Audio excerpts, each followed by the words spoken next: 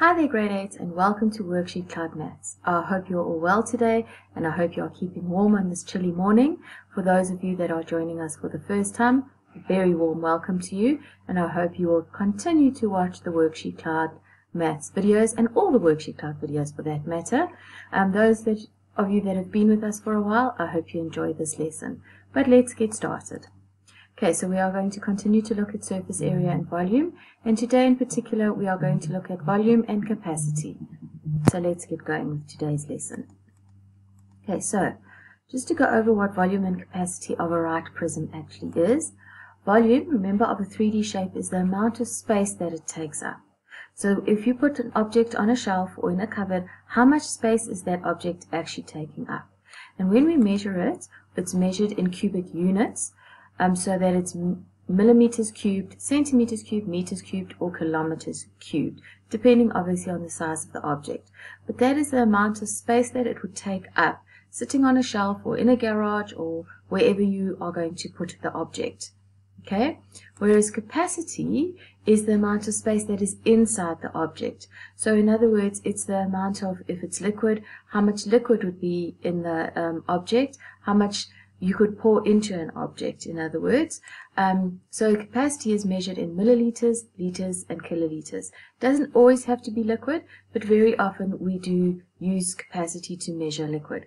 But what it is, is actually the amount of space inside the object, whereas volume is the amount of space that the object takes up. Okay, so just to revise, because I'm sure you do know this already, but how to convert the one to the other. So if we've got one milliliter, which is volume, um, sorry, which is capacity, the volume of that would be one centimeters cubed. Okay, if we've got one liter, which is the capacity, 1000, that is 1000 centimeters cubed. Okay, one kiloliter is the same as a thousand liters, because we know that. Um, one kiloliter is a thousand liters, and that will give me one meter cubed. Okay, so this is quite important to know when you are converting from volume to capacity or capacity to volume. Right, let's start. The formula for volume and capacity of a cube and a rectangular prism, we need to go over those formulas. We use the same formula. We'll work out the volume first and then we'll convert it to a capacity measurement. Okay, so for a cube, we know that a cube has all sides being the same length. So if we've given the measurement of one of the sides, we're just going to multiply it by um, itself three times. And there we have a cube, and there would be one side, there's another side, and there's another side. So if it was a rectangular prism, one would be the breadth, one would be the length, and one would be the height. But seeing as we know in a cube, they are all exactly the same measurement, we just say side times side times side. Okay. In a rectangular prism, we use the area of the base of the prism times the height. Now let me just show you here. There's a rectangular prism. I've labeled that the length, that the breadth, and that the height.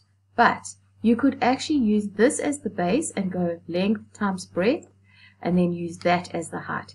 It makes no difference, guys, and I'm going to probably repeat that a couple of times in this lesson, because remember you are multiplying them all together.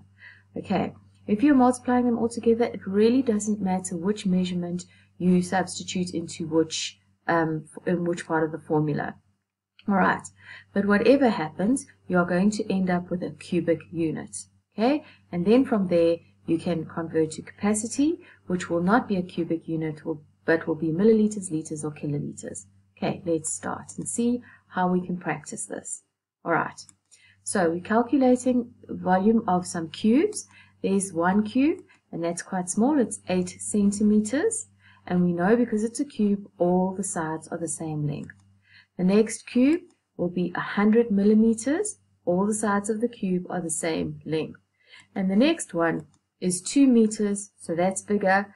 Um, and all the sides are the same length, all the edges actually, not, I wouldn't say sides. Those are the edges, okay? So that edge, that edge, and that edge, all the same length that edge, that edge, that edge, all the same length, that edge, that edge, and that edge all the same length. But let's go ahead and work this out. Okay, so the volume of this first cube will be 8 times 8, which is 64 times another 8 and it's going to give me 512 centimeters cubed. Remember we are multiplying centimeters by centimeters by centimeters so that gives me centimeters cubed. Right, what is the next one? Volume, side times side times side again. This time it's 100 millimeters. So now remember 100 seems um, much bigger than 8 but remember this is millimeters so it's actually 10, 10 centimeters which is bigger than that but not that much. Okay, but we've got 10 millimeters times 10 millimeters times 10 millimeters, and we're going to end up with a million millimeters cubed. Okay, remember each time we're putting on another two noughts. So there's the next two and there's the last two, in case you thought that that was a mistake. It is a million millimeters cubed when we times 100 by 100 by 100. Okay, and then the last one, we're going to do 2 times 2 times 2, and 2 times 2 is 4, 4 times 2 will give me 8 meters cubed. It's very important to put that cubic um, sign in, the 3, the exponent 3, because that will tell us that that is the volume. Okay, remember, capacity is not measured in cubic meters or cubic units. It's measured rather in milliliters, liters, or kiloliters. Okay, so what are we going to do here? We're going to convert these to capacity. And remember that 1 milliliter is 1 centimeters cubed. 1 liter is a 1,000 centimeters cubed. 1 kiloliter is the same as a 1,000 liters, which we know. And a 1,000 liters is the same as 1 meter cubed. Okay, so the first one we've got is um, the 8 centimeter cube. And that volume was 512 centimeters cubed. Um, to get that, it would be 512 milliliters because 1 centimeter cube is 1 milliliter. So whatever you have as your centimeters cubed here will give you your milliliter reading. Okay, the next one, we had our 100 millimeter cube, and that ended up with a volume of a million millimeters cubed. And to convert that, we're going to go a million millimeters cubed, to give me a thousand centimeters cubed. So let me just explain that first, because when we change from millimeters to centimeters, we divide by 10. So if you change from millimeters squared to centimeters squared, you're actually going to move two places. You're going to divide by 100. So when you go from millimeters cubed to centimeters cubed, you're actually going to divide by 1,000. So your comma is going to um, move three places to the left. Okay, so just to go over that again, that exponent actually tells us how many more times one jump would be, if I can put it like that. One jump is from millimeters to centimeters. If this was going millimeters to meters, you would normally divide by a thousand. That means you'd go a thousand, a thousand, and another thousand. Um, if you were doing millimeters cubed to meters cubed. I hope that makes sense, guys. Um, if it doesn't, please don't forget you need to um, email grade 8 at worksheetcloud.com to get some clarity. Okay, so a million millimeters cubed gives me a thousand centimeters cubed. Now up here, a thousand centimeters cubed, we can either use this one because one is to one, so that will give me a thousand milliliters, or we can go straight to this one and say, well, that will give me one liter. All right, let's look at the next one, the two meters cubed. That gave us a volume of eight meters cubed, and we're going to convert that to capacity. Eight meters cubed will give me a thousand liters, as it says here, and that is eight kiloliters, because 8,000 liters divided by 1,000 gives me a kiloliter, so that's 8 kiloliters. Alternatively, you could have just jumped straight from there to there. Okay, right, so you can see how important remembering this is, because it helps us to convert. Alright, so try this one. Calculate the volume of this rectangular prism. Here's our rectangular prism um, and with measurements of 4 meters, 3 meters, and 3 meters. Okay, so actually it's got a square base. Um, that's 3 meters, that's 3 meters. Now again, as I said earlier, you can actually multiply these together in any order. So let's work out the volume, length times breadth times height. It depends what you see the length as. If you see the length as that, that's absolutely fine. If you see the height as that, that's fine. If you see that the length and that the breadth and that the height, it doesn't matter. Okay, so 4 times 3 times 3. 4 times 3 is 12, times 3 is 36, don't forget your exponent, 36 meters cubed. Okay, we now have to take that and convert that to the capacity of this prism in liters. So 1 meter cubed is 1 kiloliter. So 36 meters cubed gives me 36 kiloliters. But I don't want it in kiloliters because it asked me for liters. So I can't leave it like that. I've got to go 36 kiloliters times a 1,000 to give me the number of liters.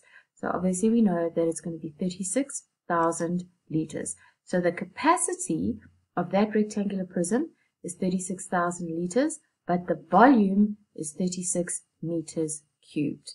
Right, everybody happy? Right, what about this one? Calculate the volume of this cube. Yeah, we've got the cube. Its measurements are 2,5 centimeters. Because it's a cube, we know that the length, the breadth, and the height are all exactly the same. So we can say that our formula is side times side times side. So we're going to go 2,5 times 2,5 times 2,5, all centimeters. Multiplying them together, remember we're going to get a cubic unit because we're working with volume. So we're going to end up with 15,625 centimeters cubed. Okay, you can definitely work that out on your calculator and double check. Um, but now we need to convert that to a, the capacity of this cube in litres and it asks us to round off to the second decimal place. Let's just work out the capacity first. As we note, one centimeter cubed, which is what we've got here, is one millimeter. So that two millimeters is like for like. So we've got 15,625 milliliters. Okay. We now have to um, convert milliliters to liters, which means we are going to divide by 1,000. So actually, our comma needs to move 1, to three places, and we're going to end up with that as an answer in liters. 0, 0.015625, okay, liters, but it did ask us to round off to the second decimal place. So our second decimal place, remember, is our hundredths column. So we need to look at the thousandths column, which is 5, and that is going to tell us what the unit in the hundredths column is going to be, what the amount in the hundredths hundredths column is going to be. So we'll end up with a capacity of 0.2, sorry, 0.02 liters, and that's rounded off. So this cube has a volume of 15,625 centimeters cubed, but it has a capacity of 0.02 liters. Okay, so now you try. There we go. You can always draw a representation of it, but you try to work out the volume and then the capacity in liters of a rectangular prism with edges 2 centimeters, 4 centimeters, and 7 centimeters. So pause the video now, you try and work it out, and when we get back, we'll go over it together. Right, how did you do? There we have our problem again. We've got to solve that problem. Uh, we've got to calculate, first of all, the volume of the prism, and then we've got to look at it in capacity. Sorry, we've got to then convert that to capacity in liters. Okay, so volume is length times breadth times height. We're going to substitute it, substitute in 2 times 4 times 7. 2 times 4 is 8. 8 times 7 will give us 56 centimeters cubed. So that is the volume. What now is the capacity? Okay, so there we've got 1 centimeters cubed is 1 milliliter. So 1 centimeters cubed, 56 centimeters cubed rather, will give me 56 milliliters. But we're not interested in, in milliliters. We want to convert that to liters. So from milliliters to liters, we are going to divide by 1,000 and we're going to end up with 0.056 liters. That is the capacity of that rectangular prism. I'm sure you all got that. I'm sure you're all absolutely fine with this. But remember, if you do have a query, you can either go back and watch the video from the beginning, or you can email grade 8 at worksheetcloud.com. Right, let's look at this problem to solve. Okay, how many kiloliters of water would an Olympic-sized swimming pool hold if the measurements of the swimming pool are 50 meters long 25 meters wide and 2 meters deep. Okay guys, if you can't visualize that, you can always draw a representation of a rectangular prism and put in those measurements. But if you can visualize it, we can go straight to the formula and just plug in. Okay, so our length is 50 meters, breadth 25 meters, and the height or the depth is 2 meters. Now remember what I told you in, earlier on in the lesson? It doesn't actually matter which way round you substitute these in because they are all multiplying together. Okay, so we've got 50 meters times 25 meters times 2 meters, and we're going to end up with 2,500 meters cubed. That is the volume of the swimming pool, but now we need to find out how many kiloliters that is, so we have to convert this to capacity. And we know that 1 meter cubed is equal to 1 kiloliter. So if that is the case, then 2,500 meters cubed is going to give me 2,500 kiloliters. That is a lot of water, guys. Okay, right, here's another problem for you to try. Calculate the volume and capacity in liters of an ice cream container that has a length of 13 centimeters, a breadth of 13 centimeters, and a height of 8,5 centimeters. Right, so once again, pause the video, see if you can work this out on your own, and let's see what happens when we come back and go through it together. Right, how did you do? Okay, so there we have our problem. Um, calculate the volume and capacity of in liters of an ice cream container that has a length of 13 centimeters, a breadth of 13 centimeters, and a height of 8,5 centimeters. Right, again, you can draw a representation, if that would make you feel better, of what this ice cream container sort of looks like, but you know that it probably has a length and, well, the length and the breadth is the same, so you could almost say it has a square base if you want to, and then the height is 8,5 centimeters. So, let's plug into our formula.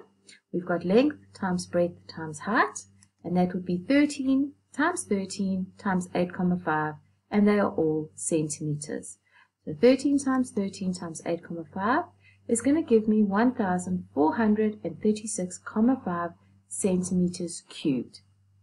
Okay, everybody happy with that? Can you visualize this ice cream container? Once again, if you can't, don't forget to actually um, draw a representation. Okay, now to take that to capacity, we have got 1 centimeter cubed is 1 milliliter. So if we've got 1,436,5 centimeters, that would give me 1,436,5 milliliters. Everybody happy with that? Okay, so now convert the milliliters to liters. Remember, we are going to have to divide by a thousand because we know that there are a thousand milliliters in one liter. So that would end up giving us 1,4 liters, which means that the capacity of our ice cream container is 1,4 liters. Now, guys, if we think about it, when you open ice cream, if you open an ice cream container to check out the ice cream, the ice cream is not always going to go right to the very, very top. Generally, there is a little bit of space so that when the ice cream freezes, it can expand. So probably that's going to be about a one liter tub of ice cream. Um, okay, with the 0.4 liters left a little bit empty for expansion because we all know that when ice cream is put into a container, it's put in liquid form and then it is frozen. So they actually then will grow, if that makes any sense. So they'll probably put on the outside of the container that it is a one liter container. Right. I hope you're all fine with that, guys. Um, thank you for watching today's lesson. I hope you enjoyed it. I'm sure you're all going to be fundies at working out volume and capacity of different 3D shapes. Right. Thank you for watching, and I, I hope to see you next time. Bye bye for now.